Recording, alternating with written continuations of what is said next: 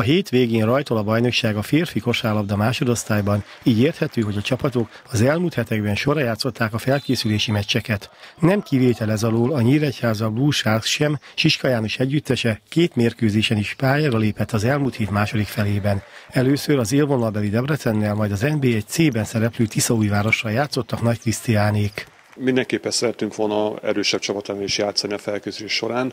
Debrecennel sikerült, hogy ők átcsopor vannak, három légiósal álltak fel. Én úgy gondolom, hogy helytált a csapat, végig szoros mérkőzés volt.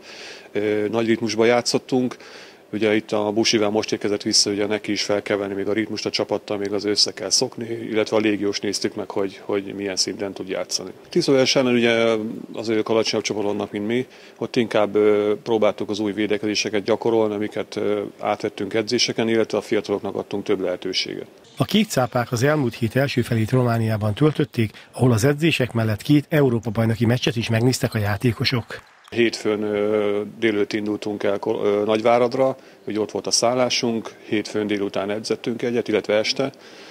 Kedden délőtt edzettünk egyet, és utána indultunk el Korozsvára. Ugye két mérkőzést néztük meg, a horvát, spanyol, illetve a román-magyar mérkőzést. Nagyon nagy élmény volt, nagyon élvezték a fiúk.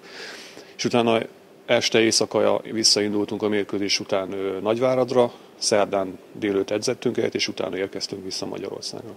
Siska János még elmondta, hogy ezen a héten a frissítésen van a hangsúly, mivel pénteken Bonyhádon már bajnoki pontokért játszanak a cápák.